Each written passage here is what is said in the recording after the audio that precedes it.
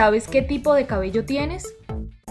Así como a la hora de escoger los productos para tu piel debes saber si esta es grasa, seca o mixta, también debes saber qué tipo de cabello tienes. En este video aprenderás los códigos universales para que puedas describir exactamente cómo es tu cabello.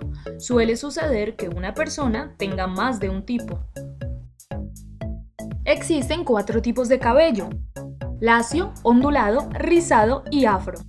El número 1 se caracteriza por ser un cabello más resistente al daño causado por químicos, planchas y secadoras. El 2 se caracteriza por tener tres tipos, A, B y C. El 2A tiene una ligera curvatura, es fino y manejable. El 2B tiene una textura media y es más grueso. Y el 2C es mucho más ondulado y más grueso que los anteriores. El grupo 3 se caracteriza por tener espirales más definidos y elásticos. Son cabellos que tienen mucho más volumen, teniendo más amplitud en la circunferencia. El 3C es más elástico que los anteriores, se contrae mucho más y es más reseco.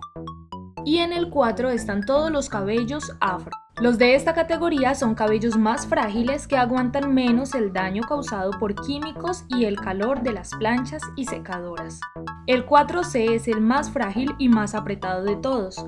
Se encoge hasta un 75% de su longitud. Para el cabello lacio recomiendo hidratar las puntas pero no hacerlo en exceso. Para los cabellos ondulados recomiendo utilizar cremas de peinar hidratantes, pero no aplicarlas en el cuero cabelludo ya que pueden ocasionar caspa.